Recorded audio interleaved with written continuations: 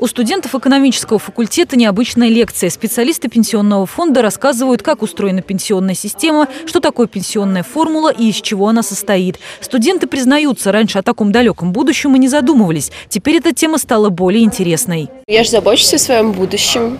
Мне важно знать, какая у меня будет пенсия. Пенсионный фонд России проводит кампанию по повышению пенсионной грамотности с 2011 года. Основная задача таких уроков – сформировать у молодежи новую финансовую культуру. В 2015 году в Самарской области прошло более 500 уроков пенсионной грамотности для 17 тысяч человек. Основной смысл лекции будет о том, что чем работая, вы должны получать как можно больше белой зарплаты в объеме, как можно дольше работать, чтобы следить за тем, чтобы работодатель правильно перечислял за вас страховые взносы, тогда к достижению пенсионного возраста у вас будет достойная пенсия.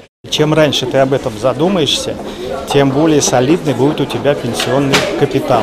И поэтому такие встречи для студентов 19-20 лет являются, так сказать, программной работой на будущее. Студентов знакомят с учебником «Все о будущей пенсии» для учебы и жизни. Издание специально подготовлено Пенсионным фондом России. Такие познавательные встречи в Самаре будут проходить до конца года. Лариса Шлафаст, Григорий Плешаков. События.